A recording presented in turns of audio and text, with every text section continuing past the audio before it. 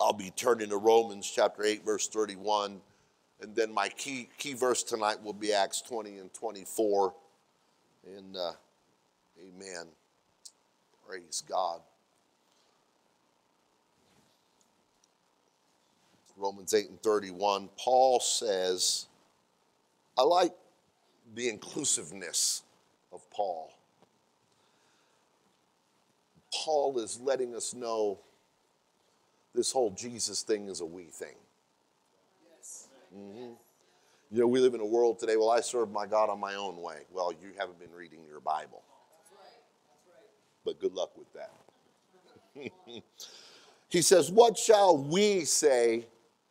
What shall we then say to these things? If God be for us, who can be against us? Amen. We get a lot of strength and courage from that. In fact, I would admonish you that when you're going through it, go ahead and pull up Romans 8 and 31 and read that. Amen. I think it's amazing that when you realize what Paul wrote in Romans 7, you put this together and you realize, you know what? A lot of stuff we go through is self inflicted. But that's also a we thing too, because we all know we're all our own worst enemy. Are you hearing me? All right, Acts 20 and 24 is where I really want to key off of. This is what really stirred my heart and prompted this message for this evening. Paul speaking, and we're coming, uh, Paul's been through a lot at this time. And he makes this statement, but none of these things move me.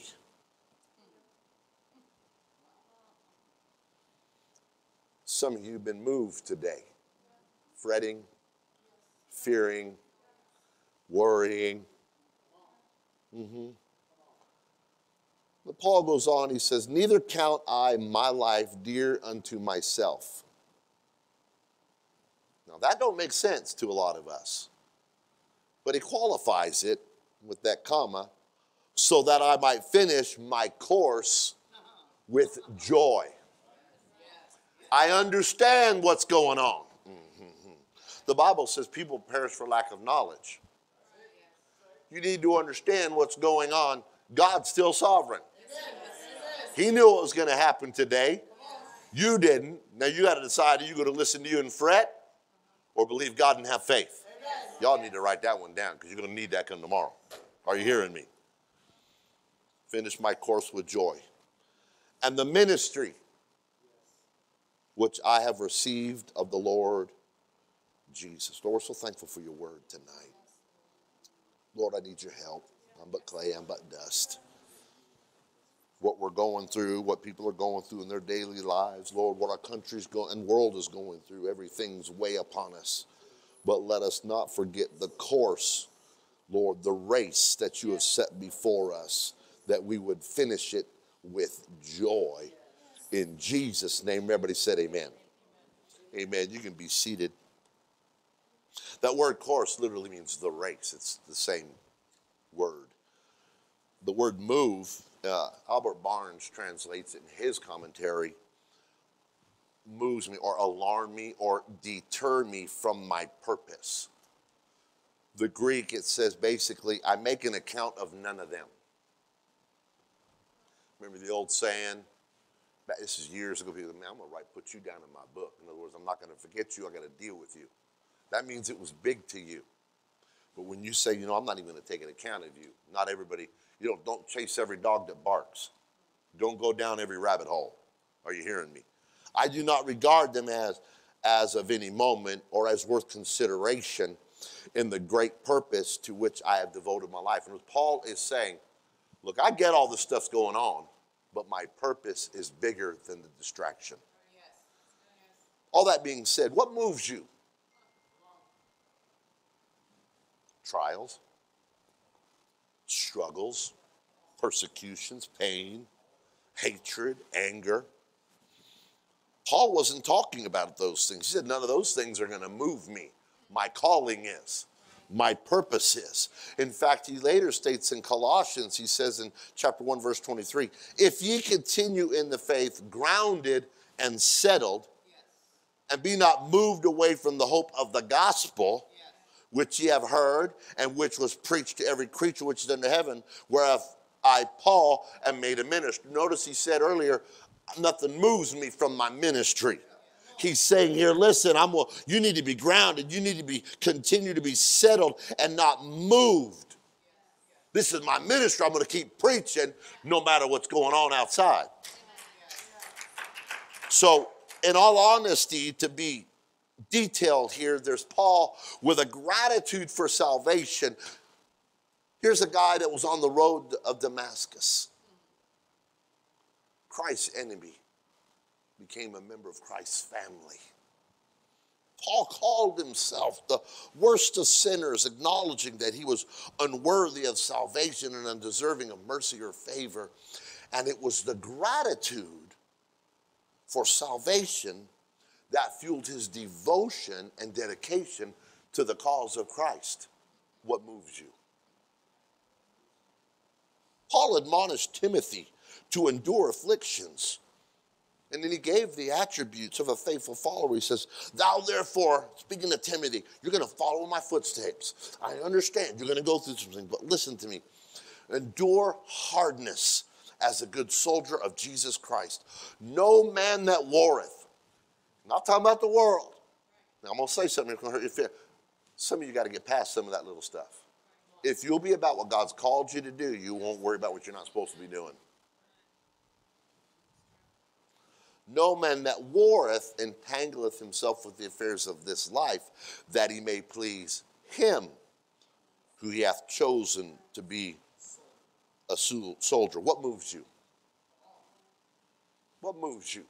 Do things move you out of your purpose or do they propel you in your purpose?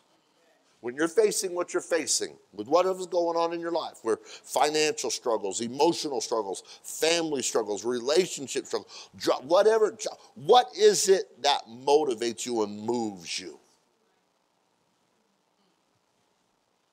There's another time Paul uses the word course, and it's at the end of his life. In 2 Timothy 4 and 7, he says, You know, I have fought a good fight. I have finished my course of my race. I have kept the faith. What's your faith in? What moves you?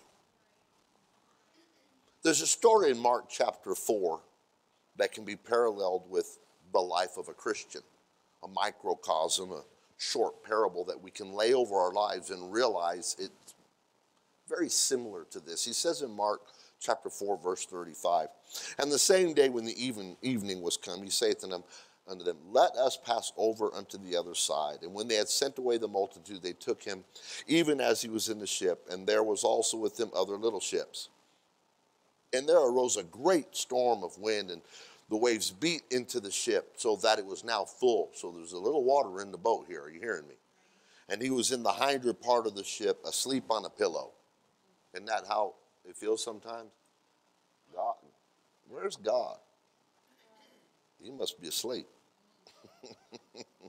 and they awoke him and said unto him, Master, carest thou not that we perish? Can I get an amen from an honest saint who's thought that thought?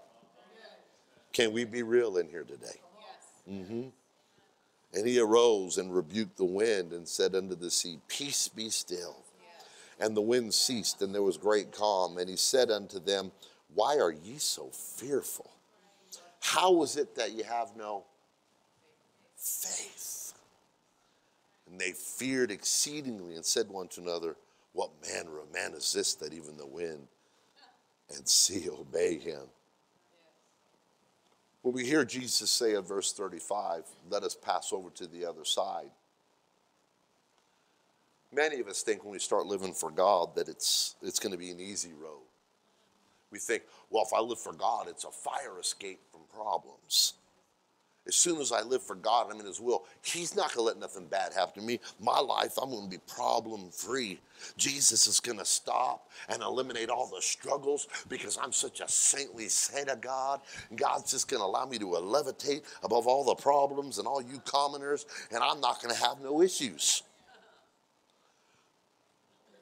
But maturity, Christian maturity, quickly lets you know that, you know, that's not true. In fact, Second Corinthians chapter 4, 17 and 18 says, and this may hurt your feelings a little bit. but Paul speaking, and when you consider what Paul's been through and how tenacious he was about people living for God and making says, for our light affliction. We've all been there, we've all done it. We start telling of our aches and pains, and someone walks in and go, Oh, what? You want to compare scars? The next thing you know, you feel like a wimp. In fact, Sunday, if Brother Howerton's listening, he, he texted me after Sunday morning service. Man, that was a great message. I wish I'd have manned up, sucked it up, and went to church. Yeah, yeah. Hey, one of the first things that you need in your Christian walk is honesty with yourself. Man, I, I, I, I, could have done better if I'd have pushed myself because Paul says, For a light of affliction, which is but for a moment, worketh for, uh, us, worketh, say it works for me a far more exceeding and eternal weight of glory. What's he saying? These light afflictions are going to keep me from my purpose. This is a central theme about Paul. If you're going to read about Paul, you need to know he, this man, he, he was educated. He could have done amazing things for the, the world. He could, he could have done so much. But he said, You know what? I've got a purpose. It's going to work for a far more exceeding and eternal weight of glory. While we look not at the things which are seen, okay, how many have done that? As an American, we can't help it. We're surrounded by things to have, to own. In fact, success is you got to have a house, you got to have a couple of cars, you got a couple of kids, you got to have a dog, you got a cat, you got a fish. You got to have a life insurance. Uh-huh. We're so American, we bypass being apostolic. Uh-huh. While we look not at who? Hmm. People that are about the Father's business, while we look not at the things which are seen. Now, this, this is where the struggle is, but at the things which are not seen. How many of you have been looking at the things you can't see? I am being facetious, but I'm being honest. It's easy, even with the current events going on. Oh, it's over, and start crying. Really? Can I tell you? Can I tell you what it is? This is what the church is for. I, I picture in my mind right now, Brother Carl, listen, no fireman on the planet wants to know a house is on fire, wants to hear that a house on fire. But if there's one on fire, he wants to know about it. Why? Because he wants to do something about it. The world's on fire. We need some spiritual firemen. We need some people to point the right direction. There are things that are going on. Hey, hey, wait a minute. For the things which are seen are temporal, but the things which are not seen are eternal. I got to get my vision right. When you get down in prayer, do you have visions of you doing something for God, or you're just appeasing a few moments to get up and go about what you always do?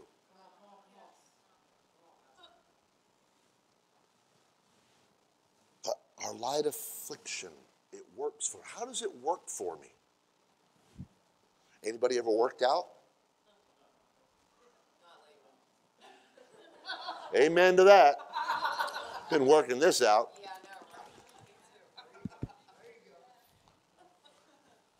But you start out and you get to the point where you build yourself up.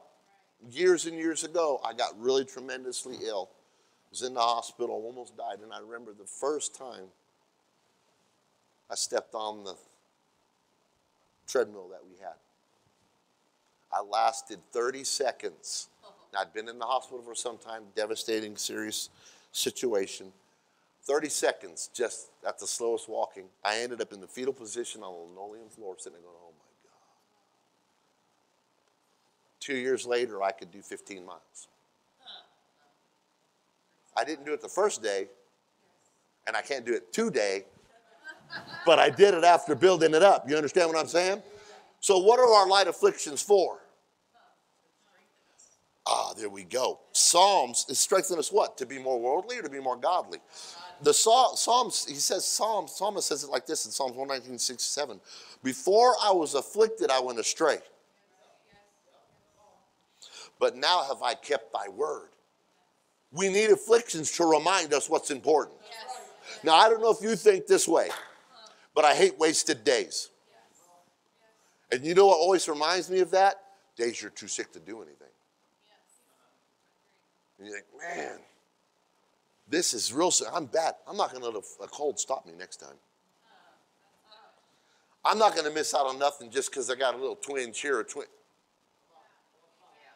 How many of us miss out when you really could do it, but you take a day off, then you get really sick, like, wait a minute, now I need to be down. Why was I down for that? Because listen, before I was afflicted, I went, I don't want to be astray. I want to be about my purpose. There's a lot of distractions, a lot of things to keep you busy, but what's your purpose? I don't want something to move me out of my purpose. I want to see that unseen thing that God is doing to move me in my purpose. What moves you? You know, we see it a lot with our young people. Mature people consider consequences. The immature flirt with disaster. the Bible goes on to say in Job, Job says in Job 14 1, man that is born of a woman is a few days and full of trouble. That kind of, kind of ominous, Job, but if anybody could say it, he can. James goes on in chapter 4, 4 uh, and verse 14, he says, Whereas ye not know what shall be on the morrow. And this kind of coincides with the days when you're, you don't feel good and days that you're sick.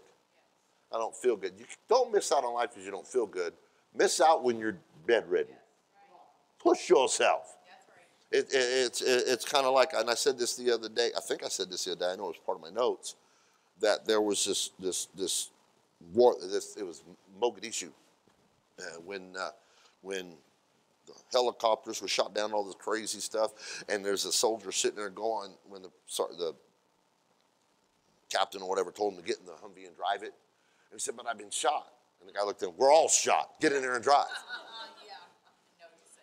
We're all wounded. We're all hurt. Suck it up, Buttercup. This is where we're at now. We're, we're all disappointed. We, we all got disappointed. We all got issues. We all got, yeah, I can't go to church. They offended me. They didn't call me. Did. did you call them? Yeah, exactly. When you stand before God, you won't be surprised the little things that cost you eternity. We can't let light afflictions and little things destroy us and move me out of our purpose. We need to, wait, if we realize that there's an unlovingness in the church, be the love. If you know so well to criticize, you should know so well to teach. That's right. That's right. Come on. Oh, yeah. If you want to get sit back there, they got to do this. Hey, we're all from Missouri. Show us. Uh-huh. That's right. right? Whereas ye not know what shall be on the morrow, for what is your life? It is even a vapor that appeareth for a little time and then vanisheth away. You got but a moment to fulfill your purpose, to do what God's called you to do. So, like that account in Mark, when we get in the middle of the journey of life, we have to realize there are storms. There are squalls and storms and, and great storms, little storms and big storms. The winds and the waves beat against our life, our boat. We wonder just like the disciples, where's Jesus? Where's Jesus in my mess? Is he asleep? Wait a minute. I thought he'd keep me from storms. No, he might just be waking you up to your purpose because you're coming down to the end because it's just a vapor. You're here for a moment. Master, don't you care that I perish more than you know? I don't want you to perish. And you're wasting your time chasing this, and you're wasting your time chasing that. You wondering if I was asleep. You didn't know where I was, but you weren't paying attention to Jesus. You were doing your own thing. And it took the storm for you to call on him. Jesus stood up in the midst of the storm and he stands up in the midst of our problems and says, Peace, be still. Now, listen, sometimes he'll calm the external storm,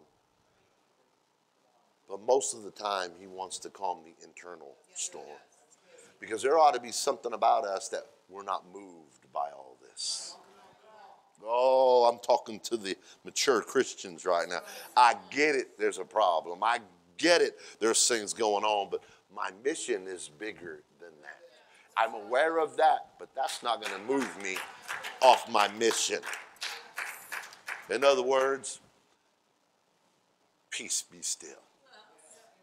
Mm-hmm and even the winds and the waves of our problems obey him.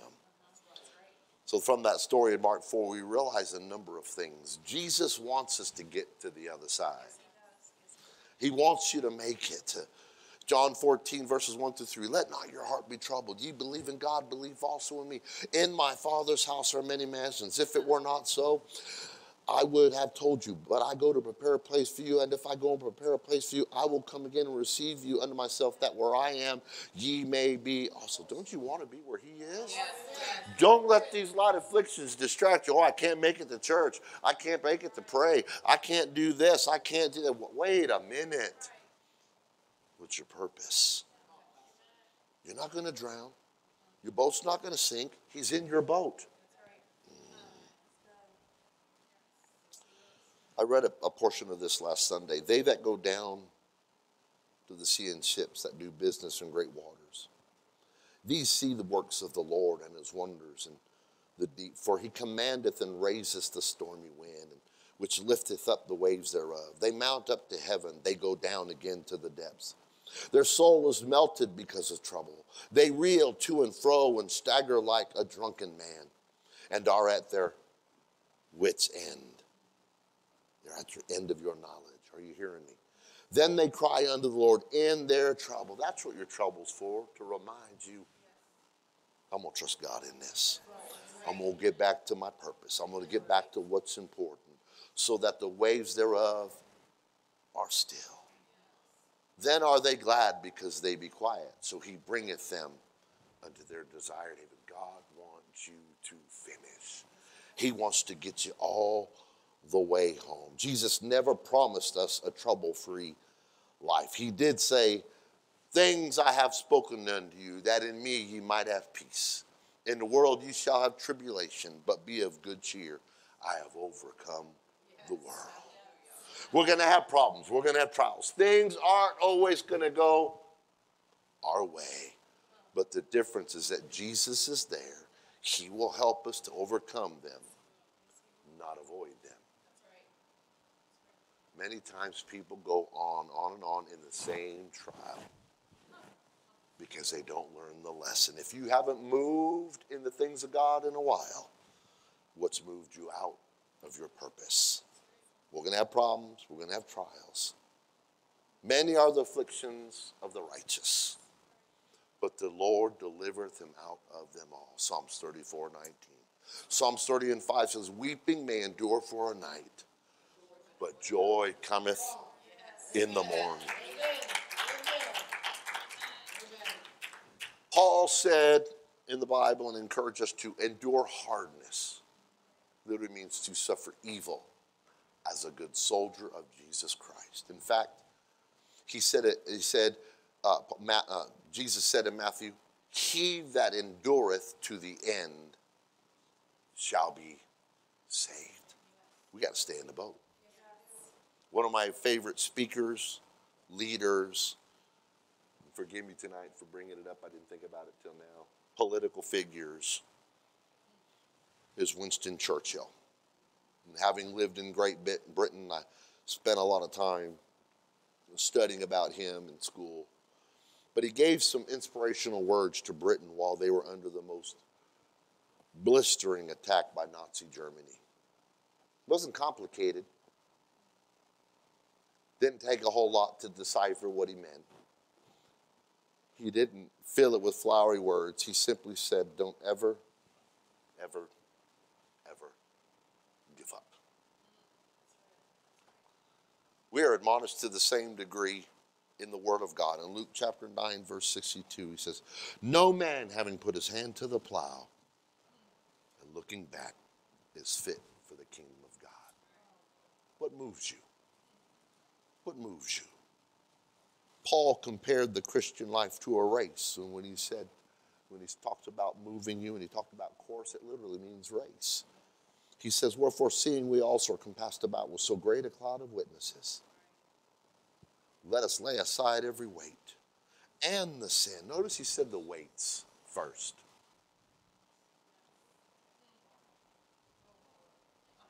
Mm-hmm. And the sin which does so easily beset us. And let us run with patience the race that is set before us. I believe Paul understood this. I believe he had a, a, a, a deep ingrained conviction here because when he talks to Timothy, when he's talking to those in, in Rome and those in, in, in, in Corinth, Corinth, he makes, he, he alludes to this. He, in fact, Paul wasn't too varied in what he spoke about. It was very simple. Stay in the fight, finish your course, keep the faith. That's what he said. Let us run the race with patience, the race that is set before us, looking unto Jesus, the author, listen to me, and finisher of our faith, who for the joy that was set before him endured the cross, despising the shame, and is set down at the right hand of God, the throne of God. He talked of finishing his course, which goes back to our initial text.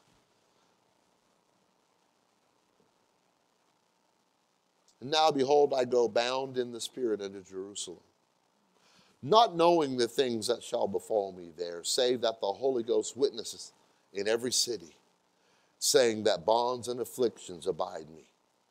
But none of these things move me. Neither count I my life dear unto myself, so that I might finish my course, my race with the joy and the ministry which I have received of the Lord Jesus to testify the gospel of the grace of God. It makes sense then as he winds down and he's speaking to Timothy, and in his second letter to Timothy, he says, Timothy, I fought a good fight. I finished my course. I've kept the faith. Henceforth, there is laid up for me a crown of righteousness, which the Lord, the righteous judge, shall give me at that day. But speaking to this young man, he says, And not to me only, but to all them that also love his appearing. When John wrote to the seven churches in Revelation, he repeatedly we, he used phrases like, He that overcometh or to him that overcometh. He talks about, look, there are things in life. There are things that are going to come into your life good things and bad things, storms and trials, sunny days and cold days. You've got to decide what moves you. In 1 John chapter 2, we read, Ye have overcome the wicked one. In Acts 27, we find another story about boats. And after they had set out, a strong wind and storm arose. The people on the boat started throwing the cargo overboard. The weights. There's a storm, church. There's some weights that I need to get out of my life. There are some things that are not conducive for what I'm going. I, I need to lighten my boat so that I'm focused on my purpose. The, the crew on the boat were so fearful that they were all, dare I say it, fasting. Hmm. Paul saw an angel, told him, Fear not. Fear not. Really? It's distracting me from my purpose. If God is so intent and in tune with your life, the storm's not gonna ma- not gonna matter. That He'll send an angel to speak to you. I think you can stand there with some boldness. Okay, God's got this. Mm-hmm. Paul promised all the others on the boat that none would be lost, but you got to stay in the boat. You got to stay with the boat. He said, "Except these abide in the ship, you cannot be saved." Can I tell you the church is a battleship, not a cruise ship? Are you on the right ship? What moves you? What moves you? What is moving you? Watty Piper wrote a book, interesting children's book, and I won't need to go too deep into this because most of you know it. Entitled The Little Engine That Could children's favorite. I remember reading it. I still remember the little uh, golden book view of the little engine. Adults can also learn something, a valuable lesson from this book. This little train wanted to climb the mountain to take the toys to the children on the other side. But it needed an engine to pull it over the mountain. First off, there was that really lovely fine engine. Was asked to help but refused because it only pulled passenger trains full of people. Refusing to be daunted, the train petitioned a freight engine. The freight engine refused because it only pulls trains full of big machines, and it was tired from a previous trip. A train still wanting to make the journey over the mountain inquired of a rusty old engine. Please, kind engine, won't you pull us over the mountain? The old engine said, No, I've been doing that long enough. I'm too old and very tired, and I cannot. Finally, the little train saw that little blue engine. It didn't have much strength, but the little train asked anyway Little engine, can you help us over the mountain? To this, that little engine replied, You know, I've never been over that mountain, and I don't have a lot of strength, but I'll try. What moves you? As the little engine pulled the train up the mountain, he repeated to himself, I think I can. I think I can. I think I can. Focused on the mountain, focused on a one track, my a one track, my, I think I can. I think I can. I think I can. I, I get up in the morning, I think I can. You, you're going through storm and the weight seems heavy, but I think I can. I think I can. And slowly, slowly, the little engine, the, the one that was overlooked for all the, the big shots and nose doing all these other things, slowly went over the top of the mountain and started saying, I thought I could. I thought I could. I, I thought I could. I thought I could. What moves you? Those that think I can and those that think I can't are usually both right. The other engines in the story had the same disease as the 10 spies in Numbers 13 who said, We cannot. What moves you? But those other two spies had a different attitude and said, We can. Let us do it at once. It's the same with Daniel and the three Hebrews. Everybody else was doing the wrong thing. They said, I'm going to do this thing. What moves you? There are those who refuse to quit, and there are those that will never give up. This is the plight of the kingdom of God, and it's found throughout Scripture. What is found in you? What moves you? Because when the Israelites looked at Goliath, they said, We cannot. David agreed, I cannot, but my God can. Paul constantly faced overwhelming odds, but it was Paul who also said, I can do all things through Christ which strengtheneth, strengtheneth me. Philippians 4.13. Years ago, and being a former, believe it or not, I don't look at now, former marathon runner, was a amazing story took place in Mexico City, the Olympics in 1968. During the marathon, an Ethiopian by the name of Degaga Wolde had won the marathon race. He finished in two hours, 20 minutes, and 26 seconds. Crowd was thrilled. They cheered for him as he ran through the opening of the arena and crossed the finish line.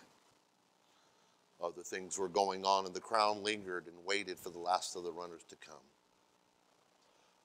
It was getting dark, and one by one they started leaving the stadium. As more and more gathered to leave, all of a sudden there was some noise and commotion approaching the opening of the arena. They heard sirens and turned and watched a lone figure, the last runner, followed by police and other emergency vehicles of that 26 mile race. This runner was from Tanzania. You could obviously see he was badly hurt.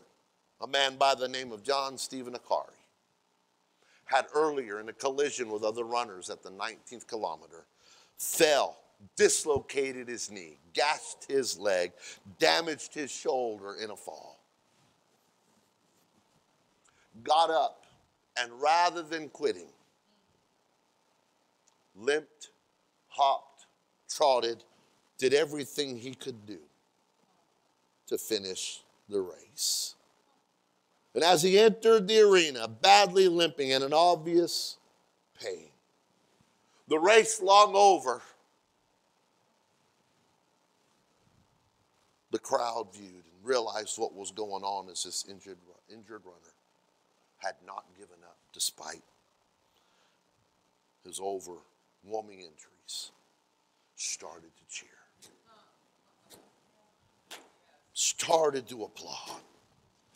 Cheering, and the stadium erupted in applause when he finally limped across the finish line in three hours, 25 minutes, and 27 seconds.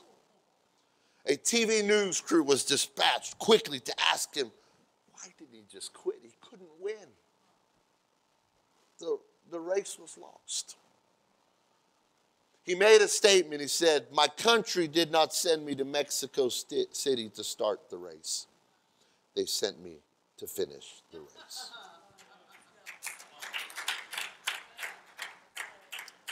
What moves you? What motivates you? What stirs you? I can be honest, transparent, but I'm as disappointed as a lot of people about what goes on in our world. But I don't want that to move me.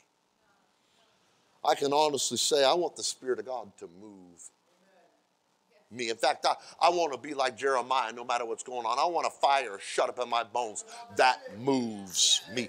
I want a burden to move me. I, I know there are things in this life to do, but I want to, the, the, the Word of God to move me, a burden to move me, a commitment to move me, conviction to move me, love and faith and the things of God to move me. Some of us are moved by the wrong things.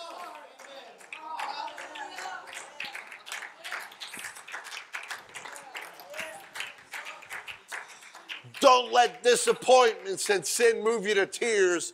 Let it move you to purpose. Let it, let it move you to an unction of what we're here for. Let's all stand. I'm going to close. I recently read of a story about a movie that I watched as a kid growing up. It affected me. I have found that my things that move me are always comeback stories, the against all odds. You know, being the black sheep of the family, the only boy, the one that had to get in the back with the dog in our simulated sided station wagon in the 70s you know, the, the odd one out. There's been something that between England overcoming its Nazi onslaught to movies like this, that this story just grabbed me and I wanted, wanted to share with you. But there's a story that's told that during the filming of Ben Hur, Charlton Heston had a problem learning how to drive the chariot. Now, he was expected to drive the chariot in a race. But he went to William Wyler, the director, and he said, Listen, I think I can drive the chariot, but, I, but I'm not sure that I'm going to be able to win the race. The director responded, You stay in the race, and I'll make sure you win.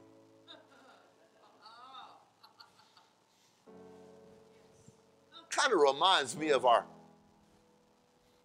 deal with God.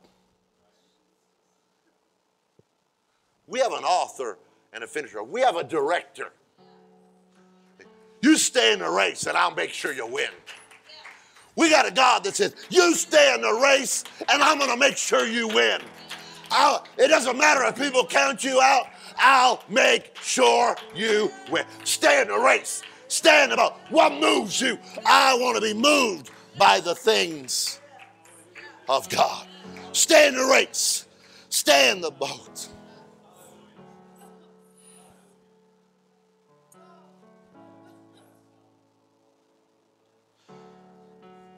When he told the disciples in Matthew 28 19, he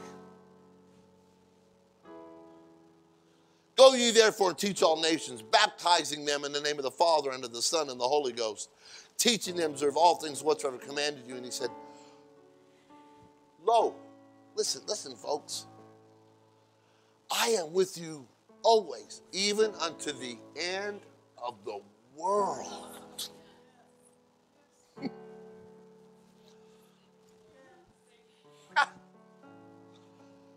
the storm don't run them out of your life. The storm doesn't say he's left you. He's the author and the finisher. You stay in the race, and I'm going to make sure you win. So not only is he with us to the very end of the world. Hey, folks, you're going through something. I don't want to hurt your little feelings. But why don't you say to your neighbor that's going through something, it's not the end of the world. And even if it was, Jesus is still with you.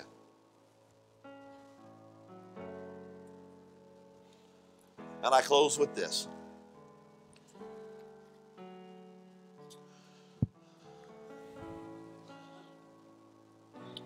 Wherefore, seeing we also are compassed about with so great a cloud of witnesses, let us lay aside every weight and the sin which does so easily beset us. And let us run with patience the race that is set before us. Looking unto Jesus, the author and finisher of our faith. Jesus is going to make sure you win. Just don't quit. Just don't quit. What moves you tonight? Let's talk to the Lord right now. What moves you? Listen, folks. Hallelujah.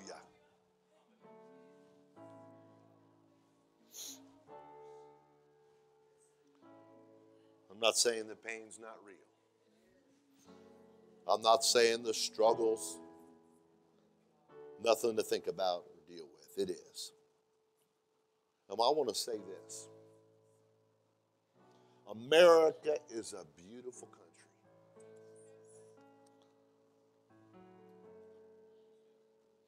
But it does not compare to the golden shore of heaven. And he wants to get us to the other side. I'm going to stay in the boat. I'm going to get to the other side. Where there's no more sorrow, where there's no more pain, where there's no tears. Hey, thank God for America, but I got a better country. I got a golden shore to make. I'm going to stay in the race. What moves you? I'm going somewhere. I got a finish line to cross. I got a finish line to cross. I'm going to stay in the fight, and he's going to make sure I win.